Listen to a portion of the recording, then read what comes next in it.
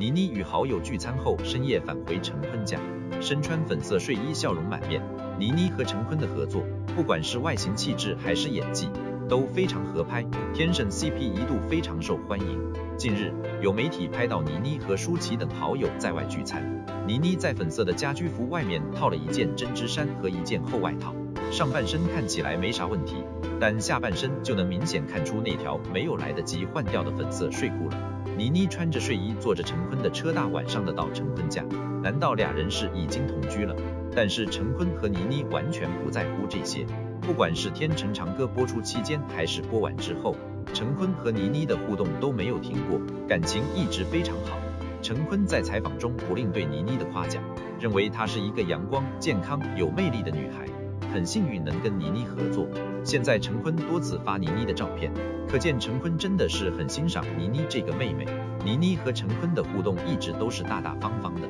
从来不遮遮掩掩，这也从另一方面证明了，可能陈坤和倪妮真的就是单纯的兄妹情。